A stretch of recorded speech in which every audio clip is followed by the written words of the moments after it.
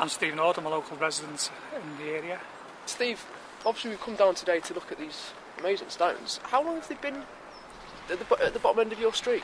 We've seen them here for you know more than a decade, but no one's ever really known that much about them. And it was only recently they were mentioned in a local magazine, and from everyone thought they spelled Greengate Wharf because you could only see part of the letters. Did you have any idea what they were when when they were No, placed out quite, here? quite a lot of the stones were actually upside down, so you actually couldn't see what it actually spelt. So it wasn't until we've actually undercovered them with a machine that actually does actually say Greengate Mills because they've been trying to trying to source something that they thought was Greengate Wharf.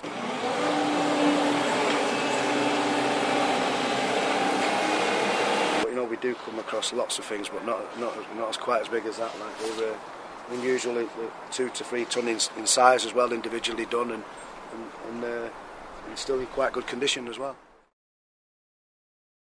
And About 10 years ago, we did some work around the corner where there were some problems, and we actually originally brought the stones from round the corner, like Right. brought them back. After some inquiries, we found uh, we found out that they did actually come from further downstream, going in towards Manchester city centre.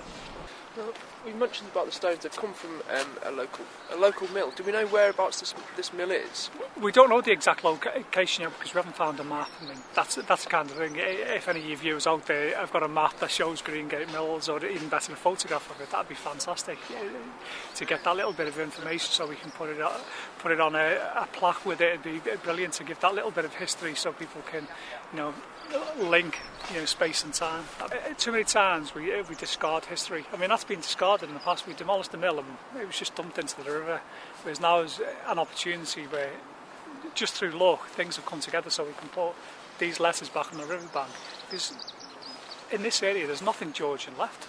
You know, that's all there is. I mean, there's a few Victorian elements, but even that, most has been demolished.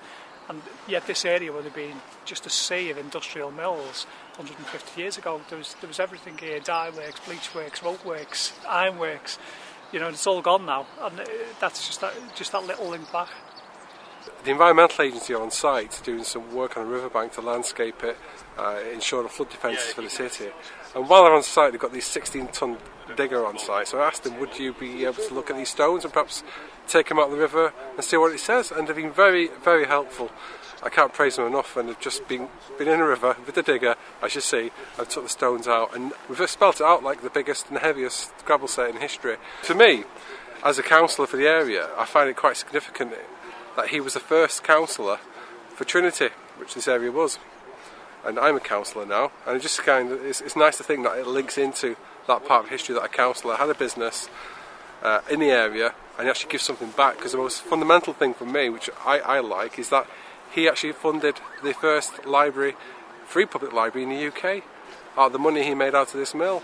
Now, you've done quite a lot of research on on this Edward Riley Langworthy. Can you tell us a bit about him?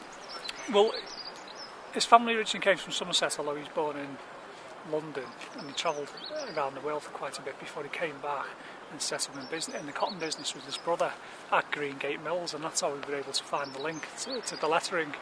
He created a lot of money from his business, which he was able to put back into Salford. So they set up the first museum and library, which was the first free services of that kind in the country. That's the one at Peel Park? At Peel Park, yeah.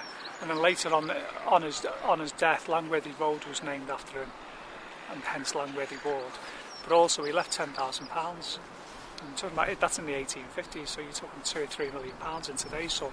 So while this was a thriving mill, that was helping finance education for the working classes, which is a great message. What's it actually going to look like when when it's reset here on the on the banks of the Irwell? Well, that's that's that for you to find out next week, I guess. You know, come back and see it. Let us know what you think. I'm sure the community will, will you know, have have a full input. But we've moved very quickly on this. This is unusually quick, but I believe that if the opportunity is there, you seize it quickly. I don't want this to cost us a lot of money because it hasn't cost us anything, and that's a good thing considering we've got Because no money. the Environment Agency were already working. Exactly, and that's you know you, you got to act quick on these things. You have to get in there, uh, like Flynn, as some people say, and get it get it there, get it in, and um, not cost the, the, the taxpayer or the council anything. Because that's where we're at the moment. If we can get it for free, we've got to grasp, grasp those opportunities. And I'm just grateful these guys at the uh, Environmental Agency have been so helpful. But all works with friendship, you know. You say hello, make them a cup of tea, and work with people together and organisations and we get a lot more done.